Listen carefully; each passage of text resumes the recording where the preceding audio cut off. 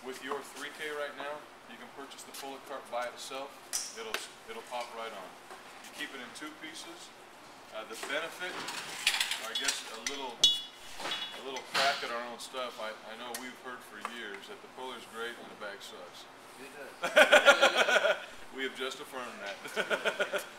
so what this pull-it cart does, it enables you to keep this in one piece, which it's supposed to be, which sometimes in that bag, it starts getting into a bunch of different pieces.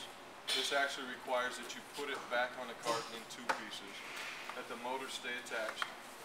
On the back side, it has um, spring-loaded ball-handled pins, so you have a, a spot for each one of your conduit adapters, and they're not going to fall out.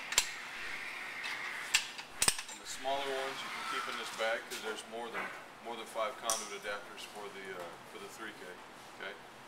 Um, has its little carrying bag. You can put your tape, gloves, safety glasses, whatever else you need inside of it.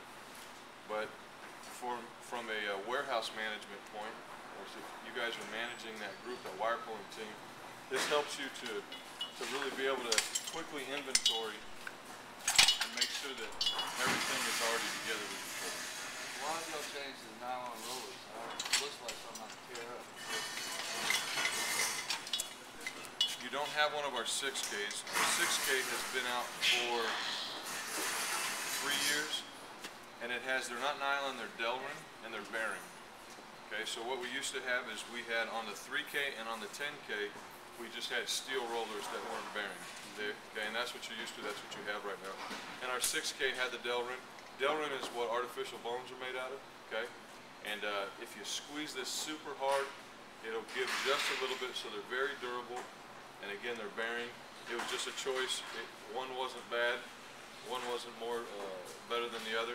Uh, but they, they figured they would they would do this, have a little bit uh, easier flow, I guess, a little bit cleaner appeal. They just kind of switched over. It, it wasn't a defective reason or anything, one over the other. Um, how long have you had your 3K?